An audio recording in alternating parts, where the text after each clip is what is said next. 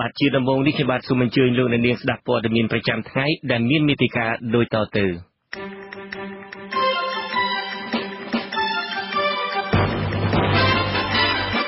មេដឹកនាំគណៈបកនយោបាយបានជូនពរឲ្យពលរដ្ឋមានសេចក្តីសុខដូចគ្នាក្នុងឆ្នាំថ្មីទោះបីជានៅមានចំនួននយោបាយនឹងគ្នាក៏ដោយអ្នកនាំពាក្យគណៈបកប្រជាជនកម្ពុជាហៅលោកសំរងស៊ីថាជាមនុស្សកំសាកមិនហ៊ានចូលស្រុក លោកវ៉ាកំហុងបដិសេធថាមិនបានគម្រាមយុវជន100រាត្រី ដែលផ្សាយវីដេអូបញ្ហាព្រំដែននោះទេគណៈកម្មាធិការជាតិរៀបចំការបោះឆ្នោតប្រកាសសុពលភាពបញ្ជីឈ្មោះបោះឆ្នោតសម្រាប់ឆ្នាំ2018មានជាង8លាននាក់រួមនឹងព័ត៌មានមួយចំនួនទៀត។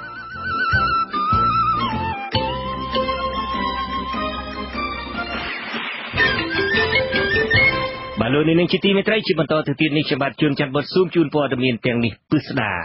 បាទរយៈពេល1ឆ្នាំកន្លងទៅនេះចំនួននយោបាយរវាងគណៈបកប្រឆាំងនិងរបបឯកបករបស់លោកហ៊ុនសែនបានហែកហួរគ្នារហូតដល់អ្នកដឹកនាំគណៈបកប្រឆាំង2នាក់ត្រូវបានចាប់ខ្លួន ហើយគណៈបកប្រឆាំង2នាក់ម្នាក់ត្រូវបានចាប់ឃុំនិងម្នាក់ទៀតបានរត់ភៀសខ្លួនទៅក្រៅប្រទេស ទោះបីជាមានវិបត្តិមិនទាន់រលត់នៅកម្ពុជាក៏ដោយក៏អ្នកនយោបាយខ្មែរមិនភ្លេចឡើយក្នុងការជូនពរឆ្នាំថ្មីឆ្នាំសកល2019នេះតើអត្តន័យសារជូនពរទាំងនោះមានភាពខុសប្លែកគ្នាយ៉ាងណាខ្លះសូមអញ្ជើញលោកអ្នកនាងស្ដាប់សេចក្តីរាយការណ៍អំពីរឿងនេះរបស់លោកហេងរស្មីពីរដ្ឋធានី Washington មេដឹកនាំគណៈបកប្រឆាំងដែលល្បីឈ្មោះលោកសំរងស៊ីបានបង្ហោះសារនៅក្នុងគេហទំព័រ Facebook របស់លោកដោយសង្ឃឹមថាឆ្នាំ2019ខាងមុខនេះជនរួមជាតិនឹងទទួលបានសេចក្តីសុខរក្សាសាមគ្គីភាព និងរងាប់ការព្យាបាទដើម្បីទុកជាប្រវត្តិសាស្ត្រសម្រាប់ខ្មែរជំនាន់ក្រោយលោកសំរងស៊ីបានបញ្ជាក់នៅក្នុងវេទិកាអ្នកស្ដាប់អាស៊ីសេរីកាលពីសប្តាហ៍មុនដោយលោកមានសុទិដ្ឋិនិយមថាអ្វីអ្វីនឹងមានការផ្លាស់ប្ដូរ ឆ្នាំ2019នេះឆ្នាំសកលខ្ញុំជឿជាក់100%ថានឹងមានការផ្លាស់ប្ដូរជាវិជ្ជមាន ក្នុងអំឡុងឆ្នាំ2019នេះដោយអ្វីដែលប្រជារាស្ត្រខ្មែររងចាំចង់បានយូរហើយអ្វីដែលបានលើកឡើងនៅក្នុងសាររបស់មេដឹកនាំគណៈបពប្រឆាំងនេះហាក់បីដូចជាបានបង្កប់នៅការដាក់សម្ពាធផង និងជំរុញដល់របបក្រុងភ្នំពេញ ឲ្យកែប្រែស្ថានភាពឡើងវិញសម្រាប់ឆ្នាំ2019ខាងមុខនេះក៏ប៉ុន្តែសម្រាប់របបឯកបកដែលដឹកនាំដោយអតីតកម្មាភិបាលខ្មែរក្រហមគឺលោកហ៊ុនសែនដែលបានកាន់កាប់អំណាចអស់ជាង3ទសវត្សរ៍មកហើយនោះបានផ្ញើសារជូនពរទន្ទឹមគ្នានឹងការដាក់សម្ពោធឲ្យប្រើប្រាស់វិមានឈ្នះឈ្នះដែលលោកសំរងស៊ីចាត់ទុកថាជាវិមានក្បត់ជាតិ ហើយអ្នកវិភាគបានលើកឡើងថាជាកន្លែងតម្កល់ឯកសារប្រវត្តិសាស្ត្រคล้ายៗលោកហ៊ុនសែនបានសរសេរនៅក្នុងទំព័រ Facebook របស់លោកនៅថ្ងៃទី31ខែធ្នូនេះគឺជាថ្ងៃចុងក្រោយនៃឆ្នាំ2018នៅយប់នោះលោកនិងភរិយារបស់លោកនឹងចូលរួមឆ្លងឆ្នាំសកលឆ្នាំ2018ចូលឆ្នាំ2019នៅវិមានឈ្នះឈ្នះដែលទើបនឹងសម្ពោធកាលពីថ្ងៃទី29ខែធ្នូកន្លងទៅថ្មីថ្មី លោកហ៊ុនសែនក៏បានឆ្លៀតពេលថ្លែងសារជូនពរយ៉ាងខ្លីថាសូមឲ្យបងប្អូនជនរួមជាតិជួបតែសេចក្តីសុខនិងសំណាងល្អនៅក្នុងឆ្នាំ2019នេះចំណែកមេដឹកនាំគណៈបពប្រឆាំងដែលកំពុងជាប់ឃុំឃាំងនៅក្នុងផ្ទះវិញលោកកឹមសុខាបានសរសេរថាសូមជូនពរដល់ប្រជាពលរដ្ឋនៅទូទាំងប្រទេសឲ្យជួបប្រទះទៅនឹងសេចក្តីសុខទោះជាយ៉ាងណាក៏ដោយនៅក្នុងសារជូនពររបស់លោកកឹមសុខាមានចំណុចខ្លះបង្កប់នៅការវាយប្រហាររិះគន់យ៉ាងចាស់ដៃដល់របបក្រុងភ្នំពេញ។ ប្រធានគណៈបកសង្គ្រោះជាតិលោកកឹមសុខាបានសរសេរដោយសង្ឃឹមថាឆ្នាំថ្មីនឹងនាំមកនូវប្រវត្តិសាស្ត្រថ្មីដែលលុបបំបាត់នូវជំងឺពីរយ៉ាងដែលកំពុងរាតត្បាតនៅក្នុងសង្គមខ្មែរជំងឺទាំងពីរយ៉ាងដែលលោកកឹមសុខាចង់បានបញ្ជាក់នោះគឺទី1ការគៀបសង្កត់ជិះជាន់គំរាមកំហែងជាពិសេសដោយអំពើហិង្សា និងទី2ការស្អប់ឈ្នានីសជាពិសេសតាមរូបភាពលៀបពណ៌ជាប្រមាថនិងបង្ខូចកេរ្តិ៍ឈ្មោះ ចំណែកមន្ត្រីខ្លំមើលការរំលោភសិទ្ធិមនុស្សវិញអគ្គលេខាធិការសម្ព័ន្ធសហគមន៍កសិករកម្ពុជា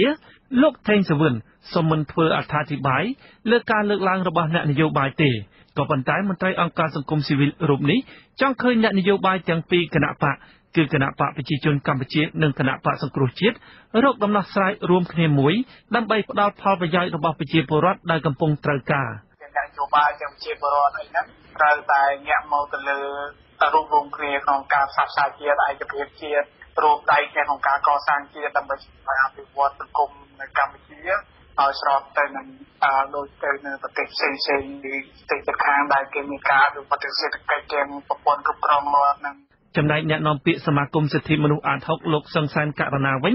បានបញ្ចេញទស្សនៈរបស់លោកតាមបណ្ដាញសង្គម Facebook ថាអ្វីដែលលោកចង់ដឹងចង់ឮគឺការរំលោភសិទ្ធិប្រជាពលរដ្ឋនិងនយោបាយមានសភាពធ្ងន់ធ្ងរជាង ដែលកើតមានឡើងជាលក្ខណៈប្រព័ន្ធដោយការកាត់ផ្ដាច់ឬគល់នៃលទ្ធិប្រជាធិបតេយ្យលោកបានសម្ដែងនឹងការសង្ឃឹមថា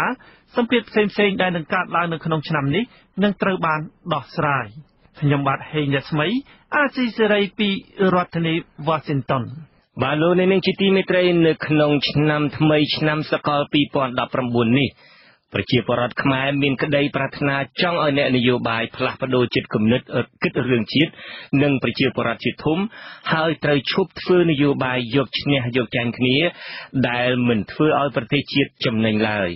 តើឆ្នាំថ្មីឆ្នាំ2019នេះប្រជាពលរដ្ឋពងប្រាថ្នាអ្វីខ្លះពីអ្នកនយោបាយបាទសូមអញ្ជើញលោកអ្នកនាងរងចាំស្ដាប់សេចក្តីរាយការណ៍ពិស្ដារអំពីរឿងនេះនៅក្រោយការផ្សាយព័ត៌មាននាពេលបន្តិចទៀតនេះ បាទអ្នកនាំពាក្យគណៈបកប្រជាជនកម្ពុជាលោកសុកអេសានបានសរសេរនៅលើប្រព័ន្ធ Telegram របស់លោកនៅថ្ងៃទី31ធ្នូដោយហៅលោកសំរៀងស៊ីថាជាមនុស្សកំសាកនិងថាលោកសំរៀងស៊ីនឹងមិនហ៊ានចូលស្រុកឡើយលោកសុកអេសានបានដាក់សំណួរថាតើនឹងមានអ្វីកើតឡើងប្រសិនបើលោកសំរៀងស៊ីចូលស្រុកលោកសុកអេសានបានឆ្លើយនៅសំណួរនេះខ្លួនឯងពីរចំណុច។ គឺទី1លោកសំរៀងស៊ីមិនហ៊ានអើតក្បាលចូលស្រុកទេ ដោយសារជាមនុស្សកំសាកនិយាយបោកបញ្ឆោតអ្នកគ្រប់គ្រងខ្លួន យកតែរួចខ្លួនមួយពេលមួយពេលដោយធ្លាប់ភូតកុហកច្រើនដងនាពេលកន្លងមកលោកសុកអេសានចោទលោកសំរៀងស៊ីថាជាមនុស្សខ្លាចភូតកុហកនិងគ្មានការទទួលខុសត្រូវ ទី2លោកសុកអេសានបញ្ជាក់ថាលោកសំរៀងស៊ីប្រថុយចូលមកក្នុងស្រុកនោះ គឺដោយនឹកថានឹងមានប្រជាជនច្រើនមកស្វាគមន៍និងនឹកគិតថានឹងមានបរទេសជួយជឿឆ្អាលខ្លួន មានបដកម្មធំគ្រប់គ្រងដើម្បីយកអំណាចឲ្យខ្លួន លោកអះអាងថាលោកសំរៀងស៊ីគិតដូច្នេះទើបលោកហ៊ានចូលក្នុងស្រុក តែលោកសុកអេសានអះអាងថាគ្មានបរទេសណាចេញមកឈឺឆ្អាលជាមួយលោកសំរងស៊ីឡើយយ៉ាងច្រើនអាចនឹងមានមតិពីអ្នកវិភាគខ្លះប៉ុណ្ណោះលោកសុកអេសានព្រមានថានៅពេលលោកសំរងស៊ីទៅដល់កម្ពុជា សមត្ថកិច្ចនឹងចាប់វាយខ្នោះភ្លាមមិនបង្អង់យូរហើយបញ្ជូនទៅដាក់នៅពន្ធនាគារណាមួយក្នុងប្រទេស។ ទោះជាយ៉ាងនេះក្តីលោកសំរងស៊ីបានបដិញ្ញាចិត្តថាលោកនឹងវិលចូលកម្ពុជាវិញ នៅដើមឆ្នាំ2019ខាងមុខនេះហើយលោកថែមទាំងបានភ្នាល់ជាមួយលោកហ៊ុនសែនអំពីផែនការវិលចូលស្រុកនេះវិញផង។ បាទលោកនាងជាទីមេត្រីគណៈកម្មាធិការជាតិរៀបចំការបោះឆ្នោតហៅកាត់ថាកោជបនៅថ្ងៃទី31ធ្នូនេះប្រកាសថាបានផ្ដល់សុពលភាពបញ្ជីឈ្មោះបោះឆ្នោតសម្រាប់ឆ្នាំ2018ស្ថាប័នដដែលនេះចេញសេចក្តីប្រកាសថាពលមានពលរដ្ឋចំនួនជាង8លាន5សែននាក់គឺស្មើនឹង86%មានឈ្មោះក្នុងបញ្ជីបោះឆ្នោតឆ្នាំ2018ពីរដ្ឋធានី Washington លោកសនច័ន្ទរដ្ឋារាយការណ៍អំពីព័ត៌មាននេះ អ្នកនាំពាក្យកោចបលហងពធាប្រាប់អាស៊ីសេរីថាកោចបបានទុកធរៈវេលាចាប់ពីថ្ងៃទី26ខែវិច្ឆិការហូតដល់ចុងខែធ្នូនេះសម្រាប់ពិនិត្យនឹងតវ៉ាហើយចាប់ពីថ្ងៃទី31ខែធ្នូទៅកោចបបានទទួលស្គាល់បញ្ជីឈ្មោះថ្មីនេះនឹងបិទផ្លូវតវ៉ាព្រោះនីតិវិធីប្តឹងតវ៉ាបានបញ្ចប់ទៅហើយអ្នកនាំពាក្យរូបនេះឲ្យដឹងថារយៈពេលជាមួយខែមានបណ្ដឹងតែពីគត់គឺប្តឹងនៅថ្នាក់ឃុំសង្កាត់និងបានដោះស្រាយបញ្ចប់រួចហើយ។ កុចបកាលពីដើមខែតុលាបានធ្វើយុទ្ធនាការចុះឈ្មោះថ្មីនិងពិនិត្យបញ្ជីឈ្មោះរយៈពេល18ថ្ងៃចាប់ពីថ្ងៃទី1ដល់ថ្ងៃទី18ខែតុលាបង្ហាញថាអ្នកចុះឈ្មោះបោះឆ្នោតថ្មីមានចំនួនជាង190,000នាក់កាលពីថ្ងៃទី18ខែកញ្ញាកុចបប្រកាសថាស្ថាប័នមួយនេះក្រុងចុះឈ្មោះពលរដ្ឋថ្មីចំនួនជិត5សែននាក់បើតាមតួលេខសរុបសម្រាប់យុទ្ធនាការចុះឈ្មោះថ្មីកាលពីខែតុលាបង្ហាញថាកុចបទទួលបានការចុះឈ្មោះមិនដល់50%ទេ បញ្ជីឈ្មោះអ្នកបោះឆ្នោតឆ្នាំ2018របស់កោចបបង្ហាញថាអ្នកមានឈ្មោះនៅក្នុងបញ្ជីបោះឆ្នោតសរុបជាង8លាននាក់បើប្រៀបធៀបទៅនឹងបញ្ជីឈ្មោះបោះឆ្នោតឆ្នាំ2017គឺកើនឡើងជាង1សែននាក់សេចក្តីប្រកាសរបស់កោចបនិងសេចក្តីសម្រេចរបស់ប្រធានកោចបលោកសឹកប៊ុនហុកចុះថ្ងៃទី31ខែធ្នូបង្ហាញថាតួលេខដែលចុះឈ្មោះបោះឆ្នោតថ្មីមានចំនួន195,385នាក់ហើយអ្នកដែលត្រូវលុបឈ្មោះចេញពីបញ្ជីឈ្មោះមានចំនួន50,000នាក់ គូចបោប៉ាន់ស្មានថាអ្នកដែលមានអាយុចាប់ពី18ឆ្នាំឡើងទៅអាចមានចំនួន9លាន9សែន8243នាក់អ្នកសម្របសម្រួលនិងអង្កេតនៃគណៈកម្មការដើម្បីការបោះឆ្នោតដោយសេរីនិងយុត្តិធម៌នៅកម្ពុជាហៅកាត់ថា Confrel លោកកនសវាង មានប្រសាសន៍ថាការចូលរួមរបស់ពលរដ្ឋលើការពិនិត្យតវ៉ាបញ្ជីឈ្មោះបណ្ដោះអាសន្នឆ្នាំ2018បើប្រៀបធៀបនឹងឆ្នាំ2016មុនពេលមានវិបត្តិនយោបាយគឺធ្លាក់ចុះខ្លាំង លោកកនសវាងបញ្ជាក់ថាកាលពីឆ្នាំ2016មានតែគណៈបព្វប្រឆាំងមួយគត់ដែលសកម្មឬបដិបញ្ជីឈ្មោះបោះឆ្នោតរកឃើញមានឈ្មោះជនជាតិវៀតណាមក្នុងបញ្ជីបោះឆ្នោតចំណែកឆ្នាំ2017និងឆ្នាំ2018បើទោះបីជាមានគណៈបកនយោបាយចូលរួមច្រើននៅក្នុងការបោះឆ្នោតប៉ុន្តែតំណាងគណៈបកទាំងនេះមិនបានសកម្មនៅក្នុងការខ្លុំមើលបញ្ជីឈ្មោះឬពិនិត្យមើលបញ្ជីឈ្មោះបោះឆ្នោតទេឃើញតែសកម្មភាពនៅពេលបោះឆ្នោតសង្គមស៊ីវិលរំនេះយល់ថាមិនមែនជារឿងចម្លែកទេដែលស្ថិតក្នុងក្រតិស័កនេះ កូចបទទួលបានបណ្ដឹងតែពីរហើយសុទ្ធតែជាបណ្ដឹងសុំកែឈ្មោះជាដើមនោះព្រោះទាំងពលរដ្ឋនិងគណៈបកនយោបាយសុទ្ធតែមិនចាប់អារម្មណ៍នឹងការពិនិត្យមើលបញ្ជីឈ្មោះបោះឆ្នោតទេ វាអត់មានអីចម្លែកទេដែលមិនដឹងតាក់ទងជំទាស់មានតែមួយហ្នឹងគឺវាអត់មានចម្លែកទេពីព្រោះវាត្រូវការថ្នាក់មូលដ្ឋានក្នុងការចូលរួមក្នុងការពិនិត្យនិងតាមដានមើលបើយើងក៏លេខមើលឆ្នាំ2018នេះឃើញថា17ក៏ដោយ18ក៏ដោយឃើញថាគណៈបកយោបាយអត់សូវមានគណៈបកណាមួយដែលចូលសកម្មក្នុងការត្រួតពិនិត្យមើលអំពីដំណើរការនេះទេបាទយើងអត់មានទេសូម្បីតែនៅក្នុងស្ថាប័នកោយបដែលចុះជាភ្នាក់ងារសង្កេតការណ៍ហ្នឹងគឺមានតែមួយទេគឺមានតែគណៈបកប្រជាជនមួយទេបាទតែចូលរួមសកម្មក្នុងការតាមដានហ្នឹងបាទ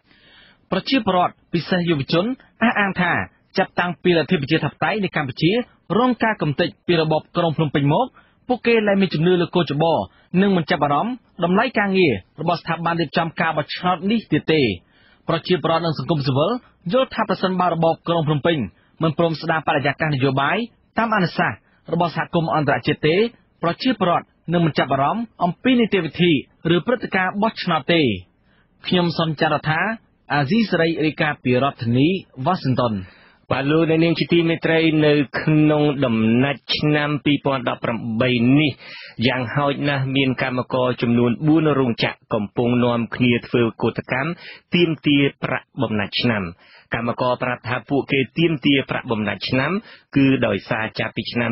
2019នេះទៅរោងចក្រនឹងធ្វើកិច្ចសន្យាថ្មីហើយនឹងចាប់ផ្ដើមអនុវត្តប្រាក់អតីតភាពការងារ6ខែម្ដង ដែលប្រការនេះអាចធ្វើឲ្យពួកគេបាត់បង់អតីតភាពការងារនៅមុនឆ្នាំ2019ពីរដ្ឋធានី Washington អ្នកស្រីសុជីវីមានសេចក្តីរាយការណ៍ព័ត៌មាននេះកម្មកររោងចក្រ Seduno Investment ស្ថិតនៅក្នុងភូមិខ្វាខណ្ឌដង្កោរាជធានីភ្នំពេញម្នាក់គឺអ្នកស្រីខេសុកហៀងប្រាប់ថាក្រុមកម្មករបាននាំគ្នាធ្វើកោតកម្មតាំងពីថ្ងៃទី26ខែធ្នូមក នៅមិនទាន់មានដំណោះស្រាយទេអ្នកស្រីបញ្ជាក់ថាកម្មករទាមទារឲ្យថៅកែរោងចក្រទូទាត់ប្រាក់អតីតភាពការងារឲ្យពួកគាត់ដោយសារតែថៅកែគ្រោងនឹងបដូរកិច្ចសន្យាថ្មីដែលនឹងធ្វើឲ្យបាត់បង់អតីតភាពរបស់កម្មករកម្មករដដែលនេះឲ្យដឹងទៀតថារោងចក្រ Seduno Investment មានកម្មករសរុបជាង1000នាក់ហើយកម្មករបានធ្វើកោតកម្មបិទផ្លូវជាតិលេខ2ម្ដងកាលពីថ្ងៃទី29ខែធ្នូប៉ុន្តែរងការបង្ក្រាបពីកងកម្លាំងរាជអាវុធហត្ថនិងនគរបាលខណ្ឌដង្កោហើយនៅរសៀលថ្ងៃទី31ខែធ្នូអាជ្ញាធរបានកោះហៅកម្មករទាំងអស់ចូលទៅក្នុងរោងចក្រដើម្បីស្ដាប់ការសម្របសម្រួល។ ពួកគាត់និយាយថាឲ្យពួកកម្មករចូលមកដើម្បីស្ដាប់ដីកាពីច្បាប់ការងារអីហ្នឹងបងវាដូចថាវាពីរបីដងវាដដែលដដែលអញ្ចឹងអត់មានដំណោះស្រាយដែលអាចធ្វើឲ្យកម្មករទទួលយកបានចាកម្មករនៅតែទទួលយកមិនទាន់បានព្រោះអីចំណុចដែលទាមទារចង់បានហ្នឹងគឺអត់មានដំណោះស្រាយគឺទីរោងចក្រហ្នឹងមិនព្រមដោះស្រាយឲ្យនៅឯខេត្តតាកែវឯនោះវិញកម្មករជាង2000នាក់នៃរោងចក្រកាត់ដេរ Seduno Cambo Knitting ក្នុងស្រុកបាទីបានបង្ហោះវីដេអូបង្ហាញថា កាលពីថ្ងៃទី29ខែធ្នូកងកម្លាំងប្រដាប់ដោយដំបងនិងខែជាច្រើនអ្នកត្រូវបានដាក់ពង្រាយតាមផ្លូវជាតិលេខ2ដើម្បីបង្ក្រាបប្រសិនបើកម្មករហ៊ានតវ៉ាបិទផ្លូវកម្មករបានស្រែកទ្រហោយំស្នើសុំឲ្យកងកម្លាំងកុំវាយបង្ក្រាបនិងរុញច្រានពួកគេព្រោះខ្លាចមានគ្រោះថ្នាក់ដោយសារតែឡានកំពុងបើកបរនៅលើផ្លូវជាតិលេខ2ចំណែកកម្មករជិត2000នាក់នៃរោងចក្រ WND នៅភូមិឫស្សីខណ្ឌមានជ័យរាជធានីភ្នំពេញ ដែលតវ៉ាទាមទារប្រអតីតភាពការងារជាមួយសប្តាហ៍មកហើយនៅថ្ងៃទី31ខែធ្នូបាននាំគ្នាយកញត្តិទៅដាក់នៅខុទ្ទកាល័យលោកហ៊ុនសែនមេដឹកនាំរបបក្រុងភ្នំពេញនៅក្បែរដើមពោមុខវត្តបទុមវតីមន្ត្រីចាំទទួលញត្តិនៅខុទ្ទកាល័យលោកហ៊ុនសែនគឺលោកគង់ចម្រើនទទួលញត្តិពីក្រុមកម្មករនិងសន្យាដូចមុនមុនដែរនិងបញ្ជូនញត្តិនោះឲ្យថ្នាក់ដឹកនាំដើម្បីពិនិត្យដោះស្រាយប្រធានសហភាពការងារកម្ពុជាលោកអាត់ធុនប្រាប់អាស៊ីសេរីថាយ៉ាងហោចណាស់ មានកម្មករចំនួន4រោងចក្រគឺនៅភ្នំពេញ3រោងចក្រនិងនៅខេត្តតាកែវចំនួន1រោងចក្រកំពុងធ្វើកោតកម្មទាមទារប្រាក់បំណាច់ប្រចាំឆ្នាំនេះលោកអាត់ធុនថាមូលហេតុដែលកម្មករធ្វើកោតកម្មនេះដោយសារតែកន្លងមកនយោជកបានប្រើប្រាស់កិច្ចសន្យាមិនត្រឹមត្រូវមានករណីខ្លះនយោជកចង់បញ្ឈប់កម្មករនិងមានការបដូរកិច្ចសន្យាមុនឆ្នាំ2019ជាដើម។ លោកអាត់ធុនថាតាមច្បាប់ស្តីពីការងារកម្មករត្រូវទទួលបានការទូទាត់ប្រាក់បំណាច់នៅពេលដែលក្រុមហ៊ុនបញ្ឈប់ប៉ុន្តែតាមវិសោធនកម្មថ្មីបើទោះបីជាមិនទាន់បានបញ្ឈប់ក៏កម្មករត្រូវបានទទួលប្រាក់អតីតភាពការងារ រៀងរាល់6ខែម្ដងចាប់ពីឆ្នាំ2019តទៅយើងស្នើដែរយើងស្នើឲ្យទួងអីហ្នឹងបញ្ចប់អកិច្ចសន្យាខាងក៏ប៉ុន្តែក្រសួងអត់អាចអនុញ្ញាតបានដោយសារយោជកគេថាអត់ទៅរួចទេព្រោះចំនួនលុយច្រើនពេកក៏ប៉ុន្តែក្នុងករណីដែលយោជកណាដែលឧទាហរណ៍ថាកម្មករអតីតភាពការងារមួយឆ្នាំពីរឆ្នាំអីគាត់ខ្ជិលញ៉ៃញ៉ៃគាត់ឲ្យអត់អីអត់មានបញ្ហាទេព្រោះគេខ្លាចតែមិនឲ្យទេបានមានបញ្ហាតែបើឲ្យដល់ស្លាប់ទាំងអស់គាត់អត់អីតែអត់មានបញ្ហាទេហ្នឹងអាស៊ីសេរីមិនអាចសុំការអធិប្បាយពីអ្នកនាំពាក្យក្រសួងការងារបណ្ដុំបណ្ដាលវិជ្ជាជីវៈលោកហេងសួរបានទេ នៅថ្ងៃទី31ខែធ្នូប៉ុន្តែលោកហេងសួរបានប្រាប់សារព័ត៌មានក្នុងស្រុកថាកតកម្មរបស់កម្មករទាមទារប្រាក់បំណាច់ប្រចាំឆ្នាំអាចមានការញុះញង់នៅពីក្រោយដោយសារតែកម្មករមិនទាន់យល់ច្បាស់ពីគោលការណ៍នៃការបើកប្រាក់អតីតភាពការងារដែលនឹងចាប់ផ្ដើមអនុវត្តពីឆ្នាំ2019តទៅលោកហេងសួរអះអាងថាបើទោះជាច្បាប់ថ្មីចូលជាធរមានក៏ដោយ តែការរោងចក្រនៅតែមានទួនាទីទូទាត់ប្រាក់អតីតភាពការងារជូនកម្មករដដែលហើយអ្នកនាំពាក្យរូបនេះអះអាងទៀតថារបបក្រុងភ្នំពេញធានាមិនឲ្យកម្មករណាម្នាក់បាត់បង់អត្ថប្រយោជន៍ដោយសារតែក្រុមហ៊ុនខ្សែធនឡើយកាលពីថ្ងៃទី28ខែធ្នូក្រសួងការងារនិងបណ្ដុះបណ្ដាលវិជ្ជាជីវៈចេញសេចក្តីប្រកាសថាកម្មករនិយោជិតដែលកំពុងតែប្រើប្រាស់កិច្ចសន្យាការងារមានថេរវេលាមិនកំណត់ នឹងទទួលបានការទូទាត់ប្រាក់អតីតភាពការងារមួយឆ្នាំពីរដង គឺនៅខែមិថុនានិងខែធ្នូក្រសួងការងារនឹងធានាផលប្រយោជន៍ស្របច្បាប់របស់កម្មករនិយោជិតធ្វើការងារនៅសហគ្រាសដែលខ្សែធនឬបិទទ្វារមិនបានទូទាត់ប្រាក់អតីតភាពការងារ អ្នកសម្របសម្រួលនៃមជ្ឈមណ្ឌលសង្ត្រាល់លោកខុនថារ៉ូ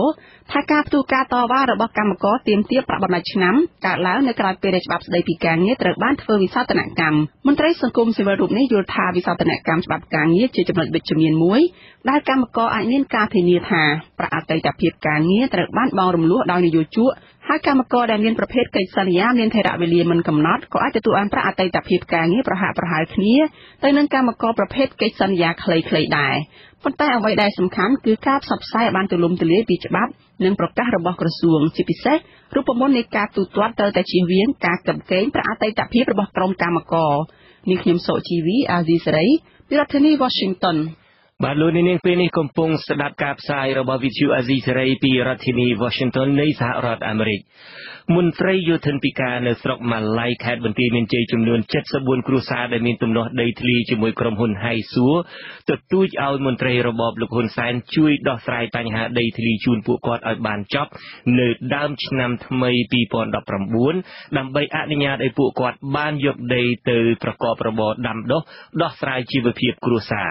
មន្ត្រីយោធិនពិការលើកឡើងថាអាញាធរមូលដ្ឋានមិនជួយដោះស្រាយពួកគាត់នោះឡើយ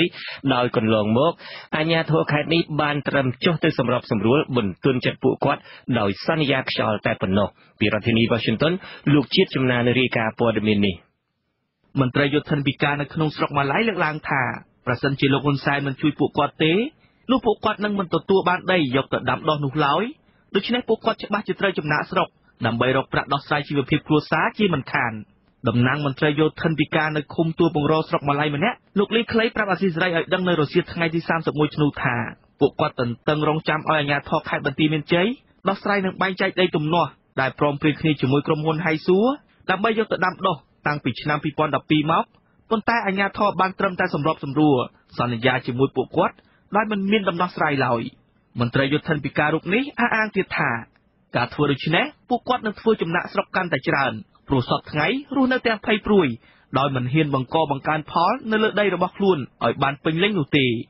សូមស្នើឲ្យអាជ្ញាធរមានសមត្ថភាពធំចំខេត្តមេត្តាជួយដោះស្រាយជូនប្រជាពលរដ្ឋខ្ញុំដើម្បីផ្ដល់ដំណឹងឲ្យទៅសម្ដេចហ៊ុនសែនជួយដោះស្រាយឲ្យខ្ញុំបាទមានប្លង់កម្មការផ្ទិចផុតពីការគម្រាមកំហែងរបស់អាជ្ញាធរផងពីព្រោះយើងឃើញថាប្រជាពលរដ្ឋដែលគាត់ប្រឈមការគម្រាមកំហែងរបស់អាជ្ញាធរវារៀងរាល់ឆ្នាំមកទៅហើយអញ្ចឹងគាត់មិនអាចបានទៅរកស៊ីទៅចំណាត់ស្រុកហើយគាត់មិនអាចទប់ទល់ជាមួយអាជ្ញាធរដែលគេដាក់ទៅម្ដងម្ដងទៅ70 80នាក់ទៅគម្រាមកំហែងការរុះរើពីសម្បែងបណ្ដឹងចេញពីដីធ្លីចូលប្រកាន់ឋានាធិបតេយ្យ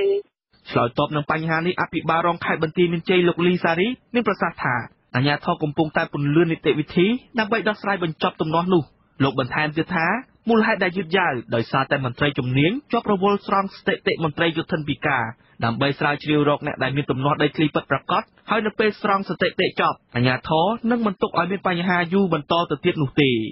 ចុះជាឲ្យបានត្រឹមត្រូវខ្លាច74ឡើង74ទៀតណាខ្ញុំធ្វើឲ្យប្រកបវិជាឲ្យត្រឹមត្រូវដើម្បីកុំឲ្យមានជនដទៃទៀតឬមួយអ្នកខ្លែងឬមួយជាអ្នកតាំងអីតំណាងណាធ្វើនឹងទៅការចិត្តចាប់ហើយហើយយើងកំពុងឲ្យខាងសូដីវាចំខ្លងដើម្បីយើងវាចំគូហើយចាប់លោឲ្យគាត់អត់បានឯកភាពនេះហ្មងហើយយើងមកទៅការចិត្តចាប់ហើយហើយក្នុងនោះយើងមានគោលការណ៍យ៉ាងហើយឯកយើងហើយយើងញ៉ាំទៅចិត្តគូធ្វើផ្លូវបាទគូក្រហមត្រូវតែជាប់ទៅជាតិ59និងគិតគូទីតាំងរត់នៃសញ្ញាតុលារៀនចំណែកតំណាងយោធិនពិការម្នាក់ទៀតលោកគង់សំអាតអះអាងថាដីទំនាស់នោះជាដីរបបរបស់ពួកគាត់ដែលរដ្ឋាភិបាលបានចែកជូនអតីតខ្មែរក្រហមដាច់ខ្លួនកាលពីឆ្នាំ1997ដើម្បីយកទៅបង្កបង្កើនផលដោះស្រាយជីវភាពប្រចាំថ្ងៃលោកថាមន្ត្រីយោធិនពិការចំនួន74គ្រួសារត្រូវបានមេបញ្ជាការរបស់ពួកគាត់ជួលយកទៅធ្វើកសិកម្មមួយរយៈកាលពីសម័យនោះដោយសារការនោះពួកគាត់មានជីវភាពខ្វះខាត ទុកដីចោលមួយរយៈលុះដល់ឆ្នាំ2013ពួកគាត់ក៏បានចូលទៅបង្កបង្កើនផលឡើងវិញរហូតមកទល់សប្តាហ៍ថ្ងៃលោកថាផ្ទៃដីទំនាស់សរុប600ហិកតាមេមេរបស់ពួកគាត់បានយកដីនោះទៅលក់ឲ្យក្រុមហ៊ុនហៃសួរនិងលក់ឲ្យប្រជាពលរដ្ឋចំនួន14គ្រួសារប៉ុន្តែពួកគាត់បានប្តឹងតវ៉ាតាំងពីថ្នាក់ខេត្តរហូតដល់ថ្នាក់ជាតិដើម្បីទាមទារយកដីនោះមកវិញតែអាជ្ញាធរមិនបានដោះស្រាយជូនពួកគាត់នោះទេមន្ត្រីសម្របសម្រួលសមាគមការពារសិទ្ធិមនុស្សអាត់ហុកខេត្តបន្ទាយមានជ័យលោកសុំច័ន្ទគៀលើកឡើងថា មន្ត្រីយុទ្ធសិនទាំងនោះរងគ្រោះដោយសារតែដីរបស់ខ្លួនលោកបន្ថែមទៀតថារឿងនេះដោយសារតែអាជ្ញាធរខេត្តមិនចង់ដោះស្រាយជូនពួកគាត់ដូច្នេះបានជាទំនាស់អូសបន្លាយមកដល់សប្តាហ៍ថ្ងៃ។ ដែលអាញាធិគិតថានឹងជារឿងមួយដែលគាត់ត្រូវដោះធ្វើយ៉ាងណាដើម្បីបញ្ចប់នៅទំនាស់ស្រឡាញ់នៅរាជអានឹងជាការប្រសើរប៉ុន្តែការដោះស្រាយរបស់គាត់យើងឃើញថានៅកន្លែងនឹងច្រើនអាណត្តិហើយ3 4អាណត្តិហើយការបោះឆ្នោតបានត្រឹមមុននឹងបោះឆ្នោតនឹងទៅដល់នឹងប្រាប់ប្រជាពលរដ្ឋឲ្យមកកាន់គណៈបកខ្លួនអីខ្លួនខ្លួននឹងដោះស្រាយជូនអីចឹងទៅប្រជាពលរដ្ឋខាងនឹងខំនឹងមកខ្លះពាក់អោបកខ្លះអីចឹងទៅដល់បោះឆ្នោតរួចមិនដែលបានទៅត្រឹមតែភូតភររបស់គាត់ មន្ត្រីយោធិនពិការបានព្រមព្រៀងជាមួយក្រុមហ៊ុនហៃស៊ូដោយមានអាជ្ញាធរខេត្តធ្វើជាអាជ្ញាកណ្ដាលក្នុងការជួបដោះស្រាយនៅសាលាឃុំទួតពងរកាលពីព្រឹកថ្ងៃទី17កញ្ញាឆ្នាំ2018តំណាងមន្ត្រីយោធិនទាំងពីររូបនេះអះអាងថា ការនោះអាជ្ញាធរបានបង្ខំឲ្យពួកគាត់យកដីស្រែ1ហិកតាកន្លះ និងដីលំនៅឋាន30ម៉ែត្រគុណនឹង50ម៉ែត្រក្នុងមួយគ្រួសារដើម្បីបញ្ចប់សំណុំរឿងនេះពួកគាត់ព្រមទទួលយកដីដោយសារតែគ្មានជំរឿព្រោះអាជ្ញាធរបានគម្រាមថានឹងរុះរើផ្ទះរបស់ពួកគាត់ចេញពីដីចំនួនបើសិនជាពួកគាត់មិនព្រមទទួលយកការដោះស្រាយនោះទេតំណាងយោធិនពិការលោកលីក្លីអះអាងថាកាលពីថ្ងៃទី17ធ្នូកន្លងទៅអាជ្ញាធរខេត្តបានហៅពួកគាត់ទៅជួបពិភាក្សានៅឃុំទួលពងរម្ដងទៀតដែរប៉ុន្តែបានត្រឹមសន្យាខ្យល់ជាមួយពួកគាត់ហើយក៏ត្រឡប់ទៅវិញ ដោយមិនមានដំណោះស្រាយអ្វីឡើយលោកថាពួកគាត់ក៏មិនព្រមចោះចេញពីដីទំនាស់នោះទេព្រោះមានតែដីទំនាស់នេះដែលអាចជួយឲ្យពួកគាត់មានចំណូលបានគ្រាន់ចិញ្ចឹមជីវិតដូច្នេះនៅដើមឆ្នាំ2019ពួកគាត់នឹងប្រមូលគ្នាធ្វើដំណើរទៅរាជធានីភ្នំពេញដើម្បីស្វែងរកដំណោះស្រាយបន្តទៀតខ្ញុំបាទជាចំណានអាស៊ីសេរី Washington បាទលោកនេះនឹងជាទីមេត្រីតកតងទៅនឹងបញ្ហាព្រំដែនវិញប្រធានគណៈកម្មាធិការទទួលបន្ទុកកិច្ចការព្រំដែនកម្ពុជាលោកវ៉ាកឹមហុងបដិសេធថាមិនបានគម្រាមយុវជនដែលផ្សព្វផ្សាយវីដេអូពីបញ្ហាព្រំដែននោះឡើយក៏ប៉ុន្តែលោកអះអាងថាលោកហ៊ុនសែនធ្លាប់ព្រមានថាមិនអត់ឱនឲ្យបុគ្គលណា ចោទលោកថាប្រើប្រាស់ ផែនទីคล้ายៗនោះទេទោះជាយ៉ាងណាក្តីក្រមយុវជន100រាត្រីដែលបន្តសកម្មភាពពីលោកបណ្ឌិតកែមលីអំពាវនាវឲ្យលោកវ៉ាកំហុងបើកចំហសេរីភាពពេញលេញដល់យុវជនតាមដានពីរឿងព្រំដែនហើយគុំចាត់ទុកពួកគាត់ជាសត្រូវបាទសូមអញ្ជើញលោកនាងរងចាំស្ដាប់ព័ត៌មានពិស្ដារអំពីរឿងនេះនៅក្នុងការផ្សាយរបស់យើងនៅព្រឹកស្អែកនេះចាប់ពីម៉ោង5:30នាទីដល់ម៉ោង6:30នាទី បាទលោកនេះទើបតែបានស្ដាប់ព័ត៌មានប្រចាំថ្ងៃរបស់វិទ្យុអាស៊ីសេរីរៀបរៀងជូនដល់ខ្ញុំបាទជួនច័ន្ទបុតពីរដ្ឋធានី Washington សូមអញ្ជើញលោកនាងរងចាំស្ដាប់សេចក្តីរាយការណ៍ព័ត៌មានផ្សេងៗទៀតនៅក្នុងកម្មវិធីផ្សាយរបស់យើងនាពេលបន្តិចទៀតនេះ។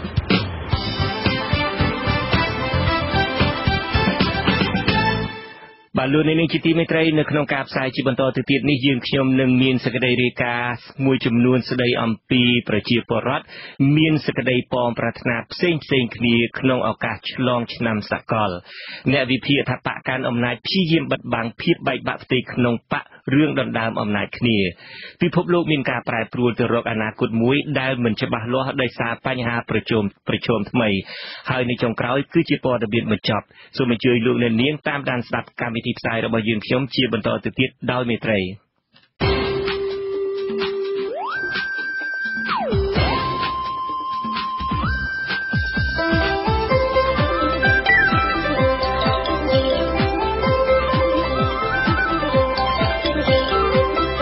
សេចក្តីរាយការណ៍ពិស្ដា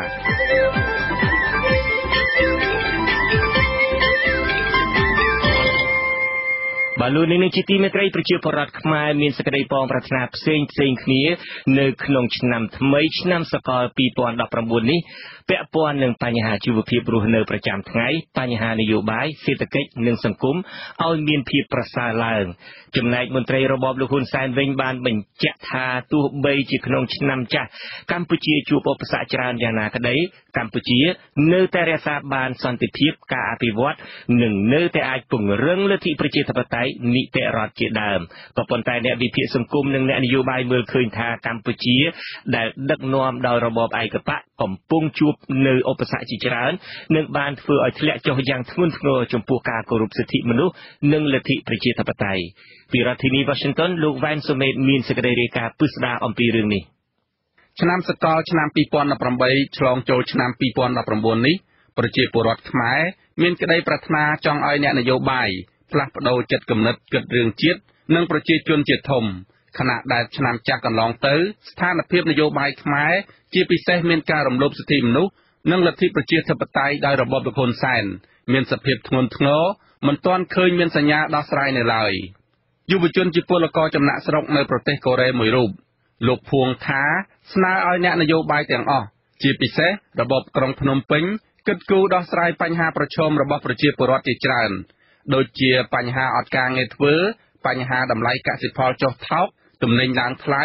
និងបញ្ហាបាត់បង់ធនធានធម្មជាតិព្រៃឈើជាដើមលើសពីនេះលោកចង់ឲ្យរបបក្រុងភ្នំពេញចេញមុខស្ដារលទ្ធិប្រជាធិបតេយ្យនិងការគោរពសិទ្ធិមនុស្សឡើងវិញដើម្បីរក្សានៅប្រព័ន្ធអនុគ្រោះពន្ធឬ EBA ដែលសហភាពអឺរ៉ុបគ្រោងកាត់ផ្តាច់បើរបបក្រុងភ្នំពេញនៅតែរឹងទទឹងដោយកាលឆ្នាំចាស់កន្លងទៅ។ ជាពិសេសគឺងាកមករកការរួបរวมគ្នាក្នុងនាមជាខ្មែរនិងខ្មែរអង្គុយជជែកគ្នាក្នុងនាមជាអ្នកដឹកនាំរបស់ប្រទេសកម្ពុជាទាំងមូលដែលយកបញ្ហាជាតិយកមកដាក់នៅលើតុចរចាជជែកគ្នាស្វែងរកដំណោះស្រាយគ្នាដោយមិនយកខ្មែរដាក់ទៅជាសត្រូវជាពិសេសខ្ញុំសូមឲ្យប្រមុខរាជរដ្ឋាភិបាលលោកគួរតែគិតគូរឡើងវិញអំពីបញ្ហា របស់យុវជន ដែលជាសសរទ្រូងរបស់ប្រទេសជាតិគឺបញ្ហាចំណាក់ស្រុកប្រជាពលរដ្ឋកម្ពុជាបានចំណាក់ស្រុកជាច្រើនទៅតាមបណ្ដាប្រទេសហើយការចំណាក់ស្រុកទៀតសោតក៏មានការប្រឈមនឹងគ្រោះថ្នាក់ធម្មជាតិគ្រោះថ្នាក់ការរំលោភបំពេញទៅលើសិទ្ធិសេរីភាពរបស់ពួកគាត់មានដូចជានៅប្រទេសកូរ៉េថ្មីថ្មីនេះតែចូលរដូវត្រជាក់ពលរដ្ឋខ្មែរស្លាប់4នាក់មិនខុសគ្នាប៉ុន្មានឡើយយុវជនមួយរូបទៀតលោកវ៉ុនចាន់ឡូតរៀបរាប់ថាក្នុងឱកាសឆ្លងឆ្នាំសកលនេះ គ្មានអ្វីក្រៅពីចង់ឃើញប្រទេសកម្ពុជា មានការអភិវឌ្ឍពិតប្រាកដហើយចង់ឲ្យអ្នកនយោបាយបន្ទន់អេរយាប័តរៀងរៀងខ្លួន គឺឈប់យករឿងបកគលជាធំ ដើម្បីឈានទៅរកវប្បធម៌សន្តិនិកដោះស្រាយបញ្ហានយោបាយនិងចាប់ផ្ដើមរួមកម្លាំងនិងពួតដៃគ្នាកសាងប្រទេសជាតិនិងជួយប្រជារាស្ត្រឲ្យបានរុងរឿងដោយប្រទេសក្នុងតំបន់និងនៅលើពិភពលោកទន្ទឹមនឹងគ្នានេះលោកចង់ឲ្យរបបក្រុងភ្នំពេញពិនិត្យនិងកែប្រែច្បាប់នានា បម្រើប្រយោជន៍ឲ្យជាតិពិតប្រាកដមិនមែនយកទៅធ្វើជាឧបករណ៍នយោបាយនោះទេច្បាប់ដែលខ្ញុំមើលឃើញដែលយើងគួរអនុម័តហើយវាជាច្បាប់សំខាន់ទី1យើងត្រូវពិនិត្យឡើងវិញអំពីច្បាប់ការប្រឆាំងអំពើពុករលួយបាទកែប្រែឲ្យវាមានប្រសិទ្ធភាពជាងមុនទី2យើងត្រូវពិនិត្យឡើងវិញអំពីច្បាប់ពាក់ព័ន្ធទៅនឹងជនអន្តោប្រវេសន៍បច្ចុប្បន្នគឺយើងមានភាពធូររលុងណាស់ហើយពួកគាត់ទាំងអស់នោះគឺអាចប្រកបនៅរបរបាទគឺបានសេរីនៅក្នុងទឹកដីប្រទេសកម្ពុជា ហើយយើងឃើញថាជាពិសេសគឺខាងអចលនទ្រព្យឯហ្នឹងគឺពួកគាត់មានការរស់ស៊ីហ្នឹងគឺផុសផុលបាទហើយក្នុងមួយទៀតគឺ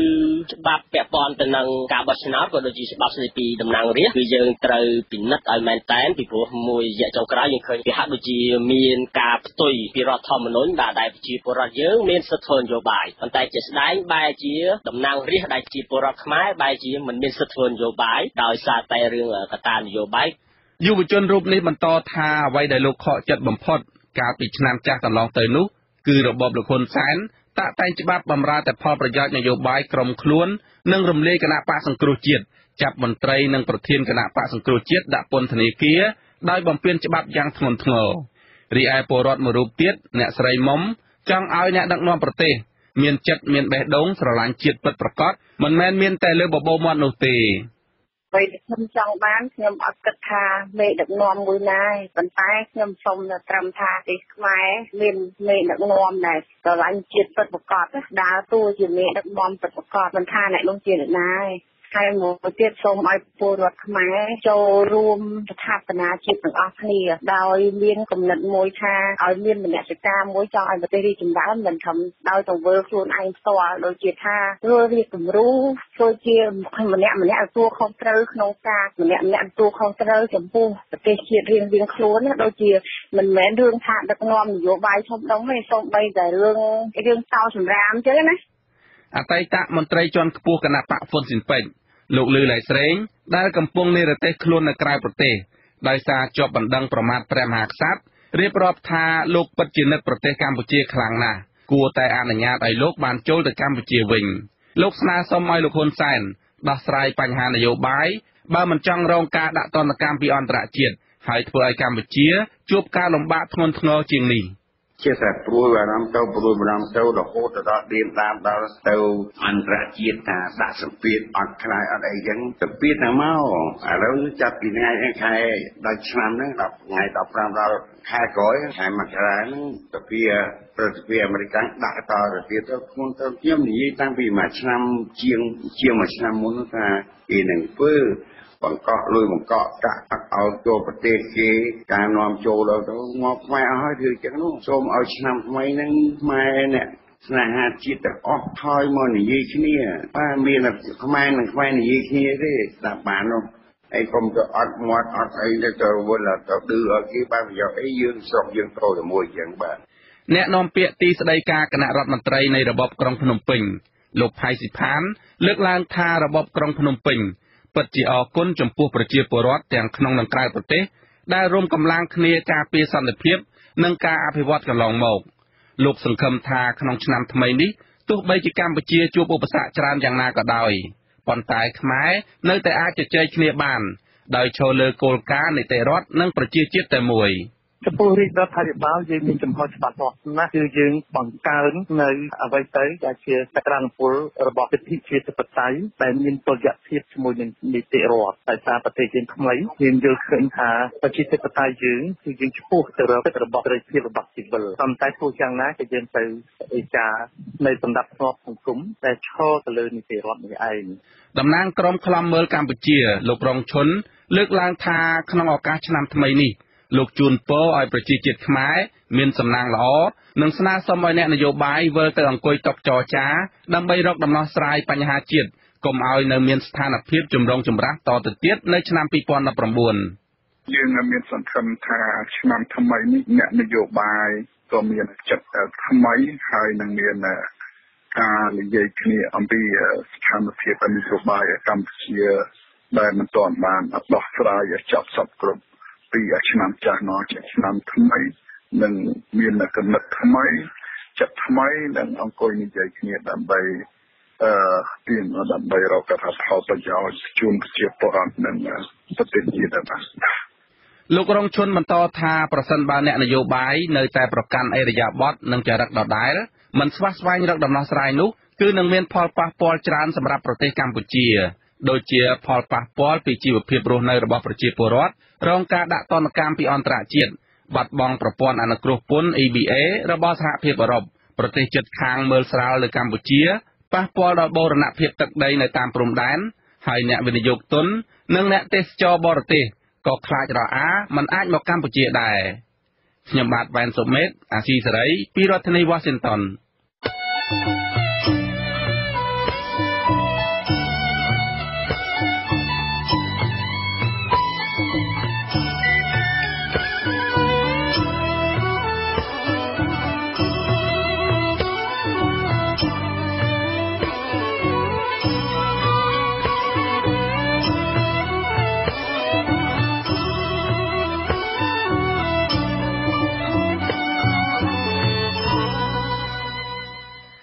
បាទលោកនាងកញ្ញាជាទីមេត្រីឆ្នាំ2018ដែលត្រូវផុតនៅថ្ងៃស្អែកនេះគឺជាឆ្នាំដែលមានការប្រកួតប្រជែងគ្នាខ្លាំងរវាងក្រុមប្រទេសមហាអំណាចនៅលើពិភពលោកទាំងក្នុងវិស័យនយោបាយសេដ្ឋកិច្ចនិងយោធា ដើម្បីឲ្យមានតុល្យភាពអំណាចការប្រកួតប្រជែងទាំងនេះបង្កឡើងដោយពលអំណាចធំធំដូចជាសហរដ្ឋអាមេរិកសហភាពអឺរ៉ុបចិននិងរុស្ស៊ីជាដើម ដែលធ្វើឲ្យពិភពលោកមានការប្រែប្រួលទៅរកអនាគតមួយដែលមិនច្បាស់លាស់ ពីរដ្ឋធានី Washington អ្នកស្រីសុជីវីស៊ូមជូនសេចក្តីរាយការណ៍មួយបដោតលើបញ្ហាប្រឈមសំខាន់សំខាន់សម្រាប់ពិភពលោកសម្រាប់ឆ្នាំបន្តដូចតទៅក្រុមមេដឹកនាំដែលមានឥទ្ធិពលនៅលើពិភពលោកមានការលើកឡើងនិងការបដិញ្ញាចិត្តផ្សេងៗគ្នាសម្រាប់ប្រទេសរបស់ពួកគេនៅក្នុងឆ្នាំ2019ទាក់ទងនឹងបញ្ហាសកលដូចជារឿងសេដ្ឋកិច្ចសន្តិសុខនយោបាយនិងកិច្ចការបរទេសជាដើម ប្រទេសខ្លះបង្ហាញពីមហិច្ឆតាលាតសន្ធឹងអំណាចរបស់ខ្លួន ទៅលើប្រទេសដទៃខ្លះទៀតប្រឹងប្រែងខ្លាំងលើរឿងសេដ្ឋកិច្ចខ្លះប្រឹងខ្លាំងខាងសពាវុធដើម្បីស្វែងរកតុល្យភាពអំណាចនិងខ្លះទៀតកំពុងជាប់ផុងក្នុងវិបត្តិផ្ទៃក្នុងដោះស្រាយមិនទាន់ចេញ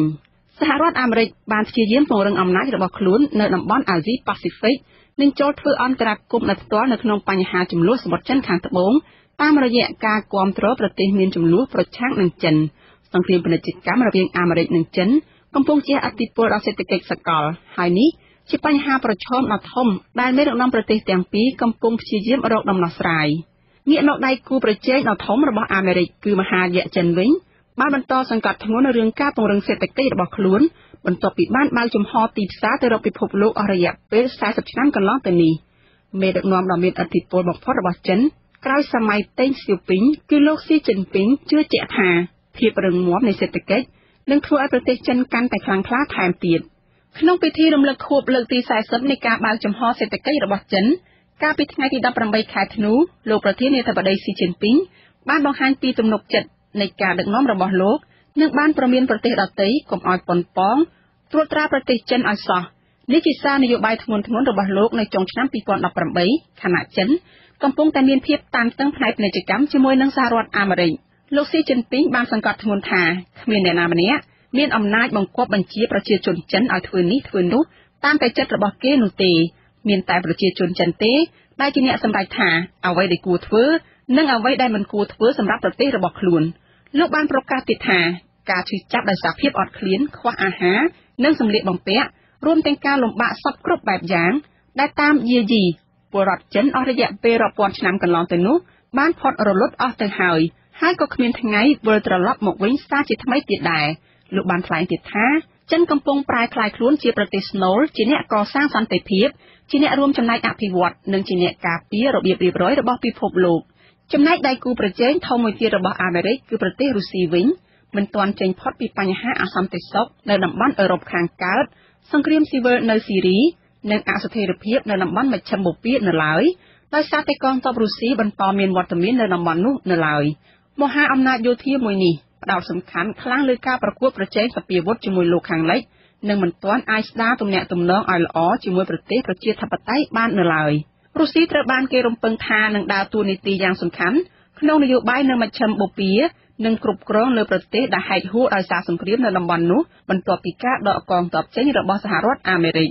ប្រធានាធិបតីរុស្ស៊ីលោកវ្លាឌីមៀពូទីន សម្ដែងការសោកស្ដាយចំពោះនិន្នាការសកលដែលមើលរំលងពីហានិភ័យនៃសង្គ្រាមនុយក្លេអ៊ែរហើយលោកបារម្ភថាប្រសិនបើវាពិតជាកើតឡើងនៅថ្ងៃណាមួយមែននោះវានឹងធ្វើឲ្យអន្តរាយដល់ជីវិតមនុស្សសត្វឬក៏ភពផែនដីទាំងមូលក៏ថាបានលោកពូទីនបានប្រមានថាការដកខ្លួនរបស់សហរដ្ឋអាមេរិកចេញពីសន្ធិសញ្ញាអាវុធនុយក្លេអ៊ែររយៈចម្ងាយឆ្ងាយនឹងអាចបំផ្លាញដល់សន្តិសុខតំបន់និងពិភពលោកចំណែកមេដឹកនាំនៃមហាអំណាចធំពីរនៅក្នុងតំបន់អឺរ៉ុបគឺអង់គ្លេសនិងបារាំងវិញ នឹងត្រូវបន្តដោះស្រាយបញ្ហាស្មុគស្មាញនៅក្នុងផ្ទៃក្នុងប្រទេសតទៅទៀតនៅឆ្នាំ2019នេះអង់គ្លេសកំពុងជាប់ផុងនៅក្នុងដំណើរចាកចេញពីសហភាពអឺរ៉ុបចំណែកបារាំងវិញកំពុងមានចលនាតវ៉ាប្រឆាំងពេញផ្ទៃប្រទេសដោយសារតែការដំឡើងពន្ធកាបូនតំបន់អឺរ៉ុបទាំងមូលនឹងត្រូវបន្តដោះស្រាយបញ្ហារឿងអន្តោប្រវេសន៍រាប់លាននាក់ដែលមកពីទ្វីបអាហ្វ្រិកនិងតំបន់មជ្ឈិមបូព៌ាដែលពួកគេជាច្រើនកំពុងប្រឈមនឹងបញ្ហាភាសាបព្វធម៌ផ្សេងគ្នា ភាពច្របូកច្របល់នៅក្នុងសង្គមភាពក្រីក្រ និងអំពើឧក្រិដ្ឋជាដើមអ្នកជំនាញអះអាងថាបញ្ហានេះនឹងធ្វើឲ្យមានអំពើហិង្សានិងការតវ៉ាជាច្រើនដែលនឹងនាំឲ្យមានការផ្លាស់ប្តូរសង្គមនិងនយោបាយអឺរ៉ុបហើយនេះគឺជារឿងសំខាន់ដែលមេដឹកនាំអឺរ៉ុបត្រូវដោះស្រាយងាកមករឿងឧបទ្វីបកូរ៉េវិញម្ដងបងប្អូនគូសត្រូវទាំងពីរបានព្យាយាមសម្រួលទំនាក់ទំនងនិងបន្ធូរភាពតានតឹងក្នុងតំបន់តាមរយៈការជួបសន្ទនាគ្នាជាបន្តបន្ទាប់ រវាងមេដឹកនាំកូរ៉េខាងជើងលោកគីមចុងអ៊ុននិងប្រធានាធិបតីកូរ៉េខាងត្បូងលោកមូនជេអ៊ីនភាគីទាំងពីរបានចាប់ផ្ដើមដំណើរការកសាងសន្តិភាពនៅក្នុងតំបន់ក៏ប៉ុន្តែរឿងនេះហាក់មិនមានដំណើរការល្អប៉ុន្មានឡើយដោយសារតែសហរដ្ឋអាមេរិកកាលពីពេលថ្មីៗនេះបានដាក់ទណ្ឌកម្មលើក្រុមមន្ត្រីជាន់ខ្ពស់កូរ៉េខាងជើងមេដឹកនាំកូរ៉េខាងជើងបានឆ្លើយតបទៅវិញថាចំណាត់ការបែបនេះ អាចធ្វើរាំងស្ទះដល់ដំណើរការឆ្ពោះទៅរកការលុបបំបាត់កម្មវិធីនុយក្លេអ៊ែរនៅឧបទ្វីបកូរ៉េជារៀងរហូតទាំងនេះជាបញ្ហាប្រឈមសំខាន់សំខាន់របស់ពិភពលោកដែលបានបន្សល់ទុកពីឆ្នាំចាស់និងត្រូវបន្តដោះស្រាយនៅឆ្នាំបន្ទាប់ហើយករណីទាំងនេះក៏នៅមិនទាន់រាប់បញ្ចូលប្រទេសសំខាន់សំខាន់មួយចំនួនទៀតនៅឡើយអ្នកជំនាញមើលឃើញដូចគ្នាថានៅក្នុងឆ្នាំ2019នេះមេដឹកនាំប្រទេសមហាអំណាចត្រូវដោះស្រាយបញ្ហាក្នុងស្រុកជាមុនសិន ដើម្បីឈានទៅដល់ការដោះស្រាយបញ្ហាសកលដូចជារឿងពាណិជ្ជកម្មនិងការប្រែប្រួលអាកាសធាតុជាដើមហើយការដោះស្រាយបញ្ហាសកលនេះចាំបាច់ត្រូវឈរលើមូលដ្ឋាននៃការបើកចំហការទទួលយកមតិយោបល់និងកិច្ចសហប្រតិបត្តិការល្អរវាងគ្នានឹងគ្នានាងខ្ញុំសុជីវីអាស៊ីសេរីពីរដ្ឋធានី Washington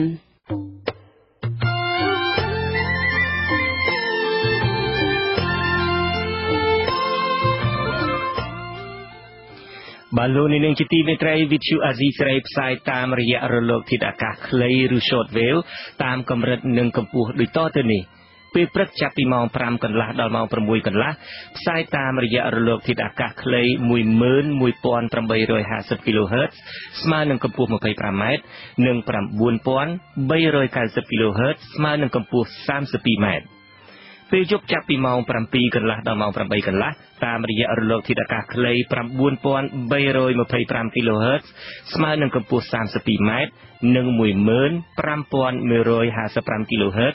ស្មើនឹងកម្ពស់ 20m សូមអរគុណ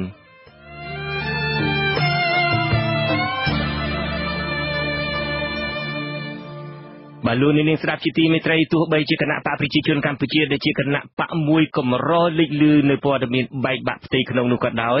អ្នកវិភាគនយោបាយវាយតម្លៃថាការដែលស្ងៀមស្ងាត់នេះមិនមែនមានន័យថាគណៈបកកណ្ដាលអំណាចនេះគ្មានចំនួនផ្ទៃក្នុងនោះឡើយ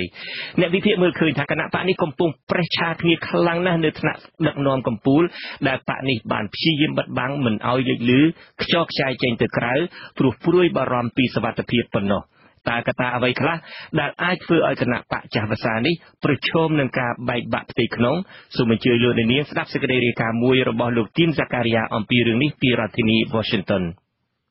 សម្ព័ន្ធភាពផ្ទៃក្នុងគណៈបកកណ្ដាលអំណាចគឺមិនខុសពីគណៈបកដតីប្រមាណឡើយដែលតែងតែកើតមានចំនួនផ្ទៃក្នុងមេដឹកនាំកម្ពុជាគណៈបក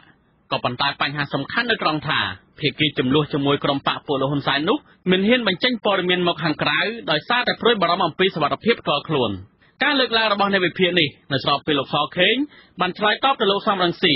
ដែលថាលោកនិងគណៈបកប្រឆាំងចង់រួមដៃគ្នាទម្លាក់លោកហ៊ុនសែនពីនាយករដ្ឋមន្ត្រីនោះគឺជាព័ត៌មានមិនពិតទេ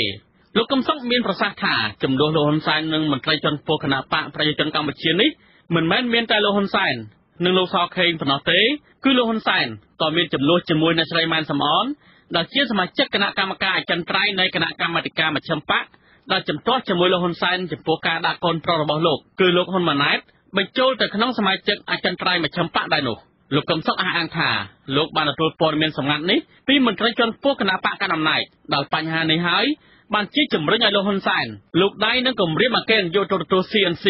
ដែលជាក្មួយរបស់អ្នកស្រីម៉ែនសំអនបើមិនព្រមចេញពីទូនាទីទេនោះនឹងអាចមានបញ្ហាកាន់តែធំលោកកំសុកបញ្ជាក់ថាបើលោកហ៊ុនសែនមិនសងសឹកអ្នកស្រីម៉ែនសំអនទេនោះក៏មិនមានការគម្រាមកំហែងអតីតអគ្គនាយកទូរទស្សន៍ CNC នេះដែរជាការបង្កើតទំនាស់ធំណាស់ក្នុងដំណាក់កាលចុងក្រោយនេះរវាងក្រុមលោកហ៊ុនសែននិងក្រុមលោកសខេង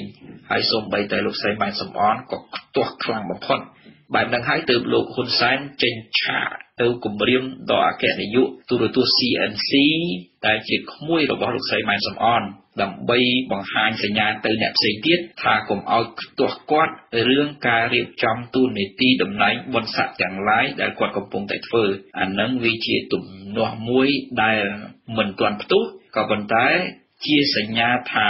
វានឹងអាចផ្ទុះនៅពេលដែលលោកហ៊ុនសែនធ្វើកាន់តែជ្រុលទៅជ្រុលទៅ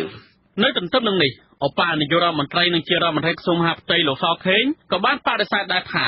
លោកមិនបានប្រាប់ដល់លោកសំរងស៊ីមិនឲ្យវិលចូលស្រុកកាលពីចុងឆ្នាំ2015នោះឡើយលោកបន្តថាមេដឹកនាំបកប្រឆាំងរូបនេះត្រូវបានតុលាការផ្តន្ទាទោសរួចហើយហើយក៏មានដីកាតាមចាប់ខ្លួនដែរដូច្នេះលោកមិនល្ងងដល់ថ្នាក់ទៅនិយាយប្រាប់លោកសំរងស៊ីបែបនេះឡើយលោកសខេងបានសរសេរនៅក្នុង Facebook របស់លោកកាលពីថ្ងៃទី30ធ្នូថា ការវិលត្រឡប់មកកម្ពុជាវិញឬយ៉ាងណារបស់លោកសំរងស៊ីនោះគឺអាស្រ័យលើលោកសំរងស៊ីខ្លួនឯងផ្ទាល់ព្រោះលោកជាអ្នករត់គេចខ្លួនមិនមានអ្នកណាហាមឃាត់លោកមិនឲ្យវិលចូលកម្ពុជាវិញឡើយលោកបន្តថាការថ្លែងរបស់លោកសំរងស៊ីនេះគ្រាន់តែជាពាក្យសម្ដីមួយបង្កាច់ដើម្បីបិទបាំងភាពកំសាករត់គេចពីសំណាញ់ច្បាប់របស់លោកតែប៉ុណ្ណោះ លោកសោខេងក៏បានច្រានចោលការលើកឡើងរបស់លោកសំរងស៊ីដែលថាលោកពិបាកធ្វើការជាមួយលោកហ៊ុនសែននោះលោកអះអាងថាលោកបានធ្វើការរួមគ្នាជាមួយលោកហ៊ុនសែនគ្រប់កលៈទេសៈអស់រយៈពេល4ទសវត្សរ៍ទៅហើយហើយជោគជ័យចុងក្រោយមួយទៀតគឺព្រឹត្តិការណ៍ថ្ងៃទី29កក្កដាឆ្នាំ2018កាន់តែបង្ហាញឲ្យឃើញកាន់តែច្បាស់ពីការឯកភាពគ្នានិងភាពរឹងមាំនៃគណៈបកប្រជាជនកម្ពុជាដើម្បីបានបន្តអំណាចទៅមុខទៀតលោកសខេងបញ្ជាក់ថាលោកសំរងស៊ីទៅវិញទេ ដែលលោកពិបាកធ្វើការជាមួយពីព្រោះលោកជាមនុស្សបាតដៃក្នុងដៃនិងមិនទទួលខុសត្រូវទោះបីជាបែបនេះក្តីលោកសំរងស៊ីបានអះអាងថាចំនួនផ្ទៃក្នុងគណៈបកប្រជាជនកម្ពុជានឹងផ្ទុះឡើងនៅឆ្នាំ2019នេះពីព្រោះលោកហ៊ុនសែនកំពុងរៀបចំចង់ដាក់កូនប្រុសរបស់លោកគឺហ៊ុនម៉ាណីជំនួសលោកសខេងនៅក្រសួងមហាផ្ទៃដែលបច្ចុប្បន្នជាសមាជិករដ្ឋសភាឯកបកបន្ថែមពីនេះទៀតប្រធានស្ដីទីគណៈបកសង្គ្រោះជាតិលោកសំរងស៊ី បានថ្លែងនៅក្នុងវេទិកាអ្នកស្ដាប់អាស៊ីសេរីកាលពីយប់ថ្ងៃទី28ធ្នូថាលោកសខេងបានប្រាប់លោកដោយផ្ទាល់មាត់ថាលោកមានការពិបាកក្នុងការធ្វើការជាមួយប្រធានគណៈបកប្រជាជនកម្ពុជាលោកហ៊ុនសែនលោកសំរងស៊ីបញ្ជាក់ថាលោកសខេងគឺជាអ្នកដែលបានផ្ដល់យោបល់ឲ្យលោកកុំទាន់អាលវិលត្រឡប់ទៅកម្ពុជាវិញក្នុងស្ថានភាពនយោបាយតានតឹងកាលពីខែវិច្ឆិកាឆ្នាំ2015នោះដោយសារលោកហ៊ុនសែនគាត់ធ្វើឲ្យគេមិនសប្បាយចិត្តគាត់ធ្វើសេចក្តីសម្រេចតែម្នាក់គាត់ធ្វើចងេងចងាលោកសាខេប្រាប់ថាគាត់នឹងរៀបចំផ្ទៃក្នុងគណៈបកប្រជាជនកម្ពុជាសិនដើម្បីបើកផ្លូវឲ្យខ្ញុំត្រឡប់ទៅស្រុកខ្មែរវិញនឹងជាមតិលោកសាខេជាមតិស្ថានទូតអាមេរិក អ្នកនាំពាក្យគណៈបកប្រជាជនកម្ពុជាលោកសុកអេសានបានសរសេរនៅក្នុងប្រព័ន្ធ Telegram អះអាងថាគណៈបកលោកមានការសាមគ្គីឯកភាពផ្ទៃក្នុងរឹងមាំគ្មានការបែកបាក់ផ្ទៃក្នុងឡើយលោកអះអាងថាអតីតគណៈបកកុម្មុយនីសមួយនេះជាគណៈបកមានវិន័យរឹងមាំមានសាមគ្គីភាពរឹងមាំមានកម្មវិធីនយោបាយត្រឹមត្រូវមានទេសនៈនិងគោលចំហតែមួយលោកបញ្ជាក់ថាអ្នកដតីនៅក្រៅបក គ្មានសិទ្ធិវាតម្លៃនិងសន្និដ្ឋានដោយប្រការណាមួយផ្ទុយពីគោលការណ៍របស់គណៈបកប្រជាជនកម្ពុជាគឺគ្មានបានការទេលោកបន្ថែមថាគណៈបកនេះបានកសាងជួរយុវជនដែលជាកូនចៅរបស់ខ្លួនសម្រាប់បន្តវេនដឹកនាំប្រទេសជាតិតទៅមុខនៅពេលអនាគតហើយលោកអះអាងថាដាច់ខាតគណៈបកប្រជាជនកម្ពុជាមិនយកកូនចៅរបស់បកផ្សេងមកបណ្ដោះបណ្ដាលនិងកសាងជាអ្នកបន្តវេននោះឡើយបើទោះបីជាយ៉ាងនេះក្តីទាំងអ្នកវិភាគទាំងអង្គការអន្តរជាតិបានស៊ើបអង្កេតឃើញថា គណៈបកប្រជាជនកម្ពុជា មានចំនួនផ្ទៃក្នុងតាំងពីក្រោយបោះឆ្នោតលើកទី1ឆ្នាំ93មកម្លេះពីព្រោះថានៅក្នុងបកនេះក្រុមដែលមានអំណាចខ្លាំងក្នុងបកគឺក្រុមលោកហ៊ុនសែននិងក្រុមលោកជាស៊ីមដែលជាអតីតប្រធានគណៈបកជាទូទៅក្រុមលោកជាស៊ីមតែងតែជំទាស់ជាមួយលោកហ៊ុនសែនទៅលើផែនការកំទេចខ្មែរគ្នាឯងឬក្រុមប្រឆាំងនឹងខ្លួននោះជាស្ដែងបើយោងតាមរបាយការណ៍របស់អង្គការឃ្លាំមើលសិទ្ធិមនុស្សអន្តរជាតិ Human Rights Watch កន្លងមកឲ្យដឹងថា នៅក្នុងខែកក្កដាឆ្នាំ1997លោកហ៊ុនសែនបានបង្កើតឲ្យមានព្រឹត្តិការណ៍មួយដែលអង្គការសហប្រជាជាតិបានហៅថាជារដ្ឋប្រហារប្រឆាំងនាយករដ្ឋមន្ត្រីទី1គឺសម្ដេចក្រមព្រះនរោត្តមរណរដ្ឋនោះគឺក្រុមលោកជាស៊ីមមិនគាំទ្រឡើយនៅពេលនោះកងកម្លាំងនិងក្រុមមន្ត្រីមួយចំនួនរបស់គណៈបកប្រជាជនកម្ពុជាមានលោកជាស៊ីមលោកសខេងនិងលោកកែកំយ៉ានបានប្រឆាំងនឹងផែនការរដ្ឋប្រហារនោះប៉ុន្តែលោកហ៊ុនសែនបានប្រើកងកម្លាំងផ្ទាល់ខ្លួន រដ្ឋប្រហារនោះបានបន្តដោយការសម្លាប់ផ្ដាច់ច្បាប់ ការបូជាសពដោយមិនស្គាល់អត្តសញ្ញាណដោយលាក់បាំងការធ្វើទរណកម្មនិងការឃុំឃាំងដោយកងកម្លាំងរបស់លោកហ៊ុនសែនអ្នករងគ្រោះភ័យច្រើនជាកងកម្លាំងរបស់ហ្វុនស៊ុនពេជ្ររបាយការណ៍របស់អង្គការសហប្រជាជាតិបានរកឃើញថាពេលនោះមានមន្ត្រីបកនយោបាយប្រមាណពី40ទៅ60នាក់ត្រូវបានសម្លាប់ក្រៅច្បាប់ក្រោយមកទៀតលោកកឹមសុខអះអាងថានៅអំឡុងឆ្នាំ2008ក្រុមបកប្រជាជនកម្ពុជាដែលនិយមលោកជាស៊ីមនោះក៏មិនគ្រប់គ្រងឲ្យលោកហ៊ុនសែន ជាបេក្ខជននាយករដ្ឋមន្ត្រីទេនៅពេលនោះហើយលោកហ៊ុនសែនបានគម្រាមដល់ខ្លួនចេញពីគណៈបកនេះហើយទៅបង្កើតបកថ្មីជាដើម។ ក្នុងការដណ្ដើមតួនាទីដណ្ដើមឥទ្ធិពលគ្នារវាងក្រុមលោកជាស៊ីមដែលតាំងពីគាត់នៅរស់ក្រោយមកក្រុមនឹងគឺដឹកនាំដោយលោកសខេងនៅពេលដែលលោកជាស៊ីមបានទទួលមរណភាពទៅហើយដំណើរនឹងវានៅតែមានជាដរាបមកអញ្ចឹងដំណើរនៃការបែងគ្នាដំណើរនៃការឆ្លោះប្រកែកគ្នា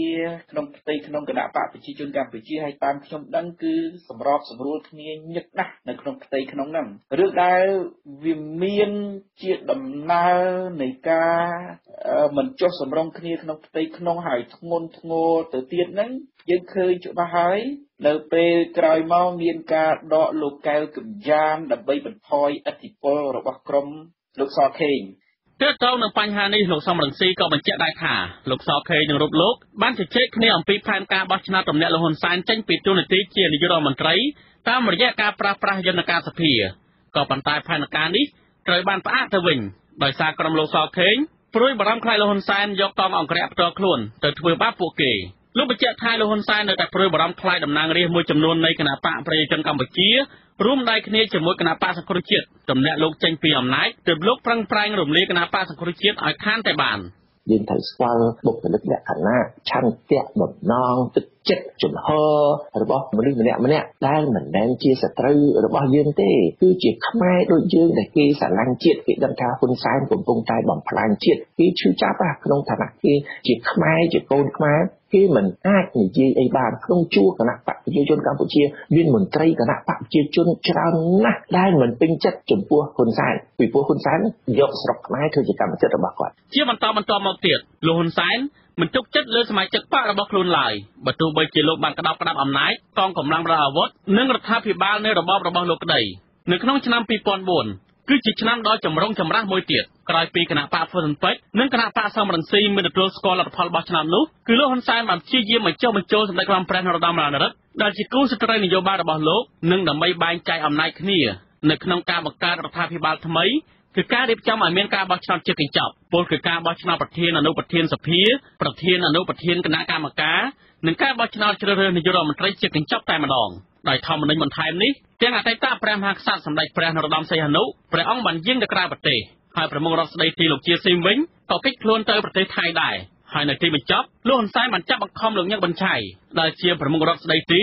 ចុះហត្ថលេខាទទួលស្គាល់ច្បាប់នេះ ទាំងនៅវិភាគទាំងរបាយការណ៍របស់អង្គការសិទ្ធិមនុស្សអន្តរជាតិ Human Rights Watch លើកឡើងថាលោកហ៊ុនសែនអតីតកម្មាភិបាលខ្មែរក្រហមជាមនុស្សដែលមិនទុកចិត្តអ្នកដទៃឡើយលោកហ៊ានធ្វើអ្វីអ្វីសពបែបយ៉ាងដើម្បីការពារអំណាចលោកនិងកូនចៅរបស់លោកលោកបានកាន់កាប់តួនាទីរហូតដល់បច្ចុប្បន្ននេះដោយសារតែការលើកបន្ទប់របស់ភាគីវៀតណាម ដល់បញ្ហានេះហើយបានជាលោកដឹងគុណវៀតណាមហើយរាល់បញ្ហាចំនួនផ្ទៃក្នុងរបស់បកនេះកម្រនឹងលេចធ្លាយមកមជ្ឈដ្ឋានខាងក្រៅណាស់ដោយសារតែមន្ត្រីនៅក្នុងបកនេះព្រួយបារម្ភពីសុវត្ថិភាពរបស់ខ្លួនផងនិងដើម្បីការពារទ្រព្យសម្បត្តិរបស់ខ្លួនផងខ្ញុំទីនសាការីយ៉ាស៊ីសេរីពីរដ្ឋធានីវ៉ាស៊ីនតោន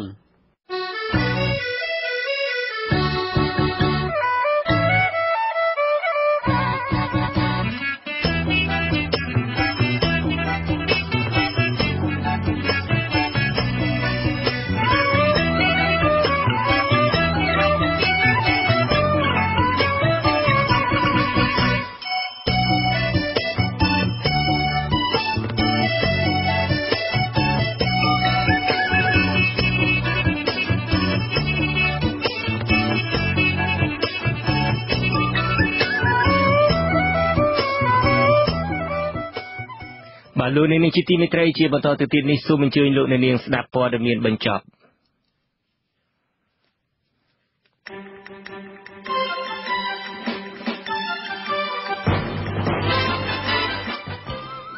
បាទរយៈពេល1ឆ្នាំកន្លងទៅនេះចំនួននយោបាយរវាងគណៈបកប្រឆាំងនិងរបបឯកបករបស់លោកហ៊ុនសែនបានហែកហួរគ្នារហូតដល់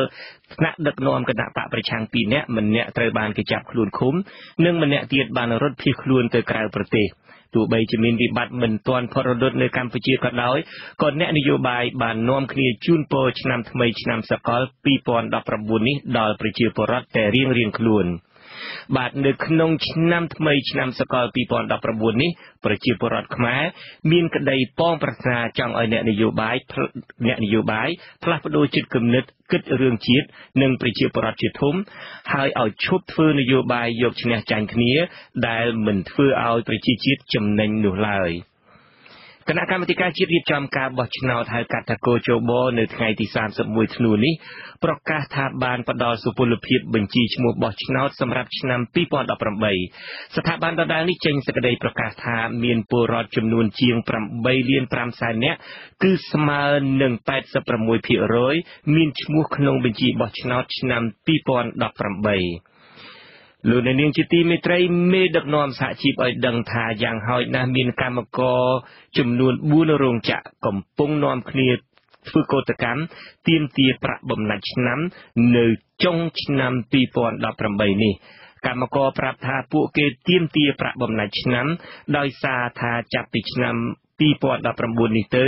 រោងចក្រនឹងធ្វើកិច្ចសន្យាថ្មី ហើយនឹងចាប់ផ្ដើមអនុវត្តប្រាក់អតីតភាពការងារ6ខែម្ដង ដែលប្រការនេះ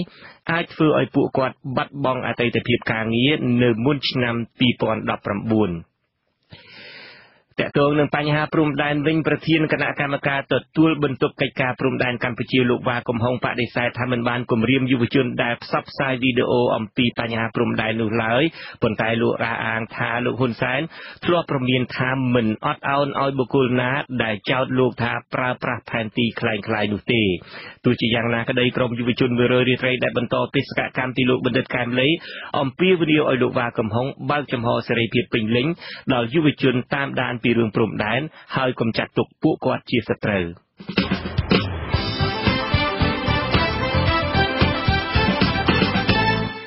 បាទលោកនាងកញ្ញាទើបតែបានស្ដាប់កម្មវិធីផ្សាយ1ម៉ោងរបស់ Vithu Azizi សេរីពីរដ្ឋធានី Washington នៃសហរដ្ឋអាមេរិកឆ្លៀតឱកាសនេះខ្ញុំបាទសូមជូនពរលោកលោកស្រីអ្នកនាងកញ្ញា ឲ្យបានទទួលនៅសុខខ្សែនខ្សានមានយុត្តិធម៌និងមានសេរីភាពមានសុភមង្គលនៅក្នុងឆ្នាំ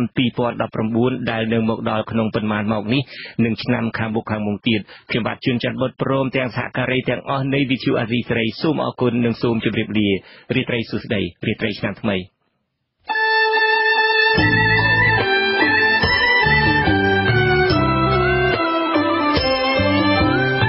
ទ្យុអស៊ីសេរីផ្សាយតាមរយៈរលកធាតុអាកាសខ្លីឬ short wave តាមកម្រិតនិងកម្ពស់ដូចតទៅនេះ